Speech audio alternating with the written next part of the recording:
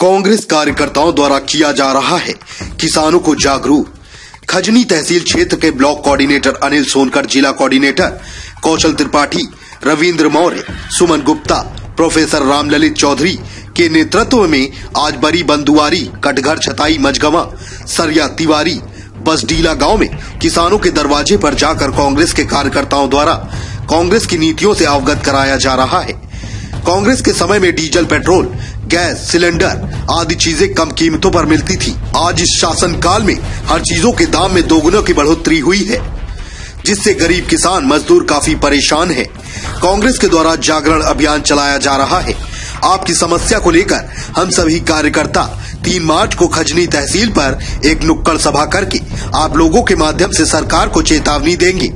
किसान, जवान, महिलाओं से फॉर्म भरवाकर कांग्रेस की नीतियों से अवगत कराया जा रहा है। संवाददाता शक्ति ओम सिंह की रिपोर्ट।